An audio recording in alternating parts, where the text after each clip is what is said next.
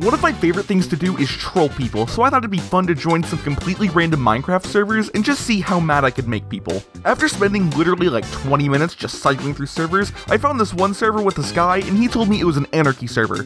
My only goal was to make everyone on the server leave, and to get the ball rolling, I decided to kill him. And that made him pretty angry because afterwards he turned on a hack client and just tried killing me over and over and over again while raging in chat. He was being mean and saying things I probably can't show on YouTube while his friend just kinda watched, and it hurt my feelings, but I was sticking to my goal, and I was not gonna leave until I made him rage quit or I got banned. I tried being nice in chat, but he really didn't want to have a friendly conversation.